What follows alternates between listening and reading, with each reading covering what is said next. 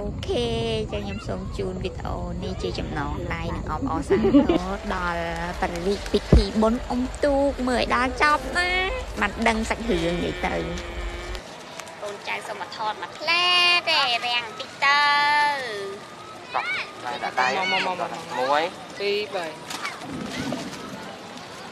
អូយភ្លៀងគាត់ធំធំឯណា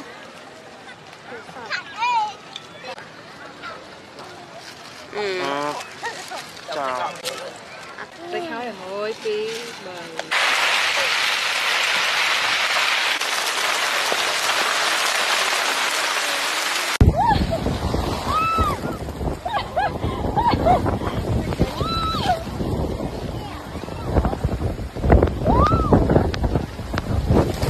អូយសាហាវនេះថតអត់បានមកប៉ុយណាផាត់មកតាំងថ្ងៃម៉ោង2ហើយពាក់គ្រឿងពាក់អីទៅ location ទី1គឺថាអឺ បុរាណនេះសម័យថតចូលគ្នាអូខេអញ្ចឹងមកមកវាំងម្ដងមកមកវាំងភ្លៀងទៀតភ្លៀងម្ដងភ្លៀងទៀតថតប៉ាស៊ីវ៉ងឯងខំប្រឹងផាត់មកហើយនេះអើយសាហាវណាឥឡូវឡាយណាឥឡូវពនាងពាក់ទឹកនេះអូយចេះសាហាវសែនអាហាអូខេខ្ញុំមើលខ្ញុំដាក់ឡានអស់អូខេ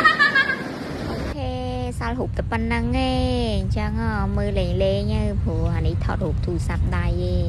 និយាយទៅអស់និយាយហ្មងហឹម